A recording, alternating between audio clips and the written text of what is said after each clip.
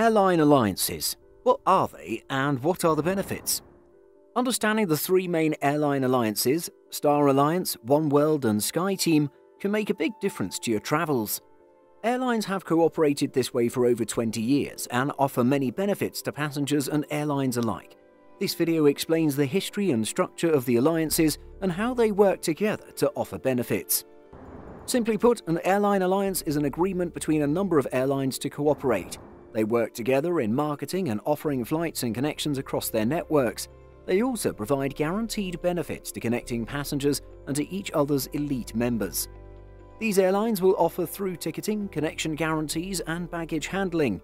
From an operational point of view, though, there's not necessarily any revenue sharing in place. That would be handled by codeshares or joint ventures agreements and not alliance memberships. Alliances offer a win-win solution for passengers and airlines. For passengers, they open up more destinations with their choice airlines and make booking and transfers easier. There are also more ways to use reward points and elite benefits.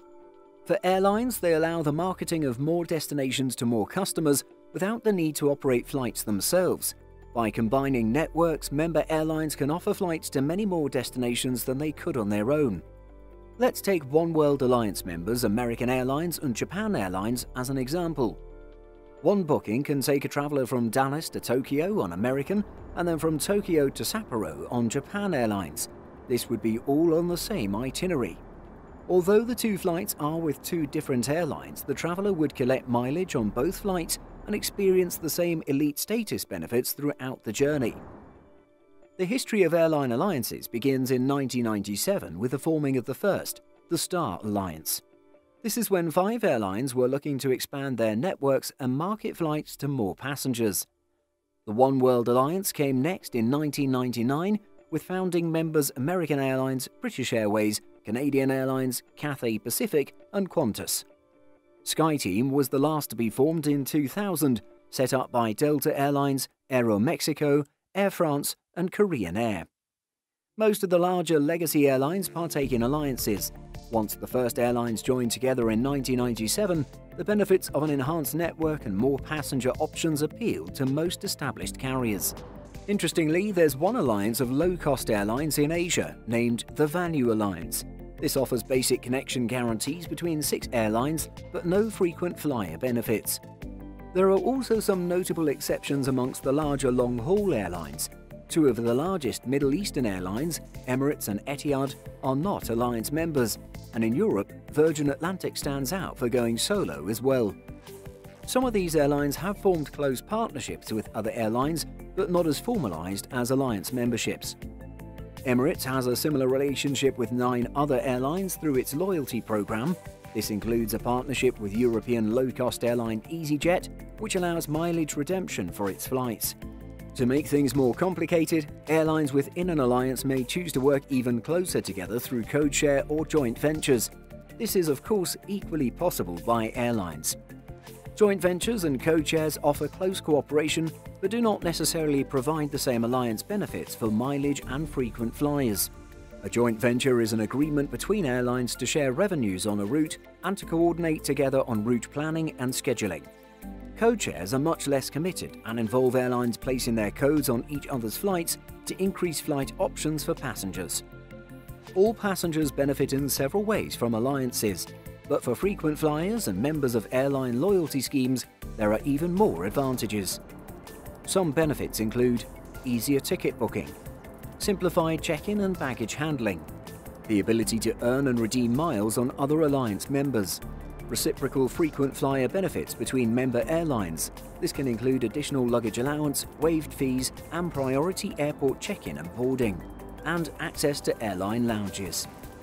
Let's look at the three main alliances. The Star Alliance is the largest alliance today by both the number of airlines and passenger volume. Its 26 airlines cover every continent, and it probably offers the lowest gaps of any of the alliances. It covers China well with two Chinese airlines and has several African members.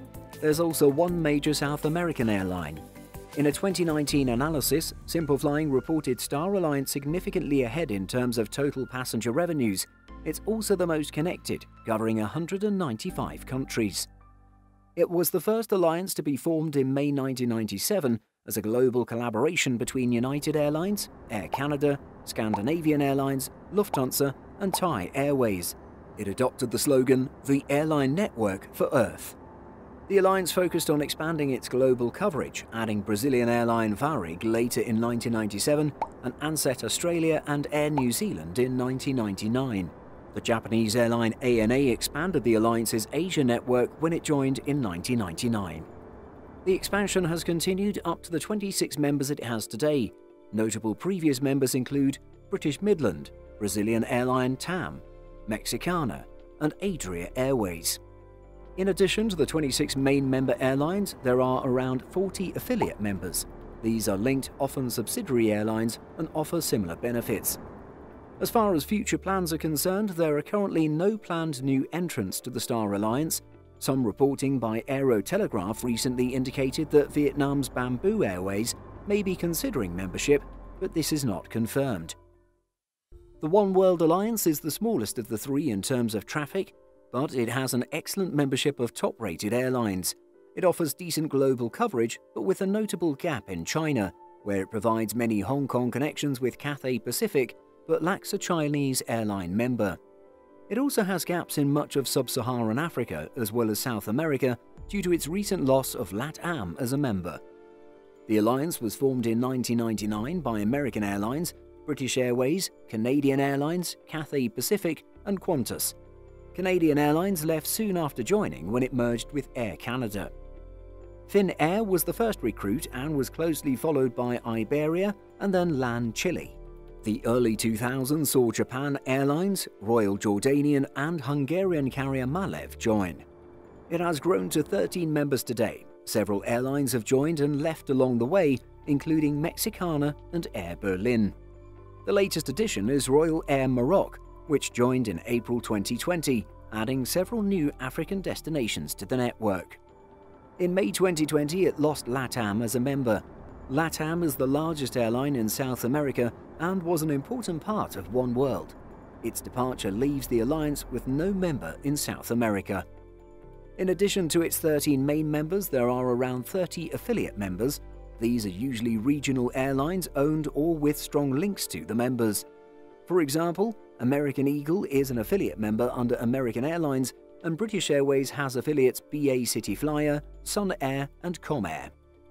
Oneworld also operates a membership known as Oneworld Connect, this offers select connection and elite status benefits, but not the full range and guarantee of alliance benefits.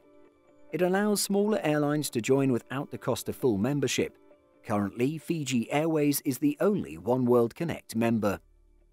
Looking to the future, Alaska Airlines is scheduled to join by the summer of 2021.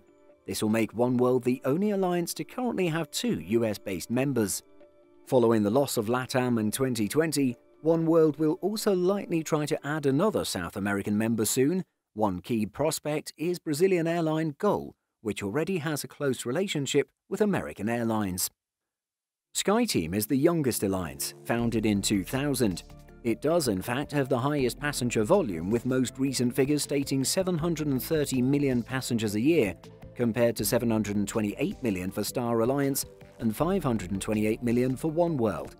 Its 20 airlines offer good global coverage, however, it is somewhat weak in Oceania and South America. Like the other alliances, it has leading members in the US, Europe, and Asia. Many of its other members are smaller airlines, perhaps less global than most Oneworld members, for example. SkyTeam Alliance was formed in 2000 by founding members Delta Airlines, Aeromexico, Air France, and Korean Air. It was also the only alliance to also establish a separate alliance for cargo operations, SkyTeam Cargo. SkyTeam was slower to expand than other alliances. While it had European carriers Czech Airlines and Alitalia, its next major expansion came in 2004 with Aeroflot, China Southern, Continental Airlines, KLM, and Northwest Airlines. It has now grown to 19 members.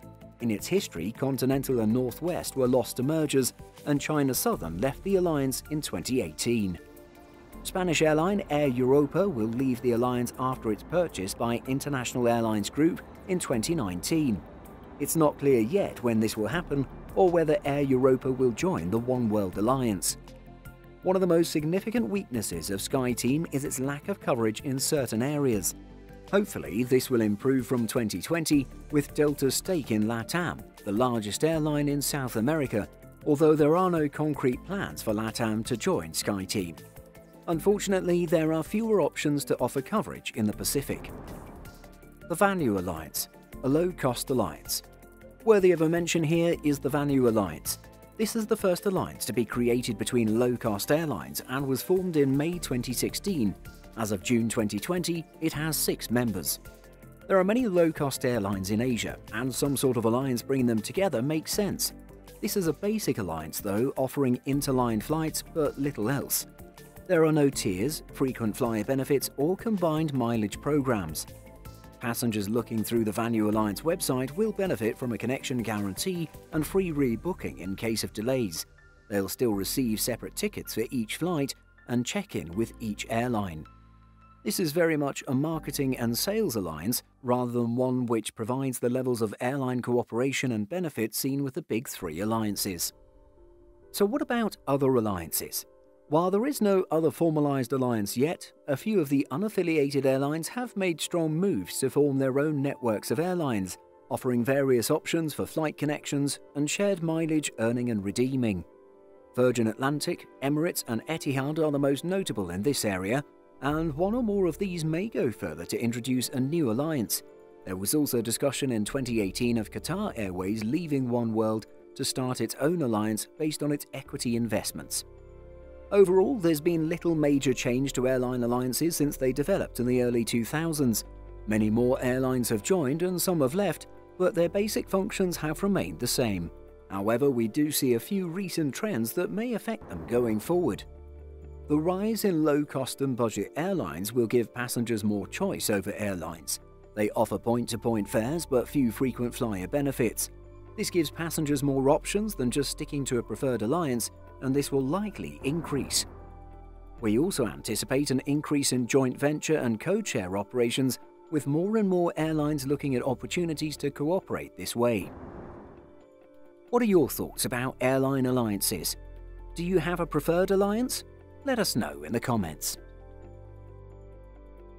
Did you know that we publish over 175 stories every single week on simpleflying.com? Be sure to check the link in the description for more great stories just like this.